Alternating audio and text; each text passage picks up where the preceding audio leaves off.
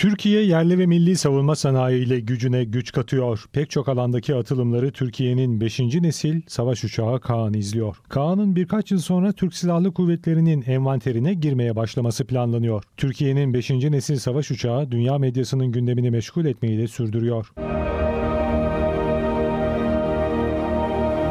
Kaan'ı mercek altına alan son yayın kuruluşu Çin Ordu gazetesi oldu. Tam sayfa makale yayınladı. Gazete, ABD yaptırımları Türkiye'yi azimlendirdi yorumunda bulundu. Kaan tam bir 5. nesil savaş uçağı tespiti yapıldı. Makale Türkiye'nin 5. nesil uçağı Kaan'ın Arges'inin başlangıcı ve sonu başlığını taşıyordu. Türkiye'nin savunma sanayinin dışa bağımlılığının 2002'de %80 iken bugün %20'ye gerilediğine dikkat çekildi. Yazıda Kaan'ın 5. nesil savaş uçağı özelliklerinin hepsine sahip olduğu da kaydedildi. Kaan'ın süper manevra, süpersonik seyir, radar gizliliği ve süper algılama kabiliyetlerini taşıdığına atıf yapıldı. Kaan gerçek bir 5. nesil savaş uçağı olarak adlandırılabilir yorumunda bulunuldu.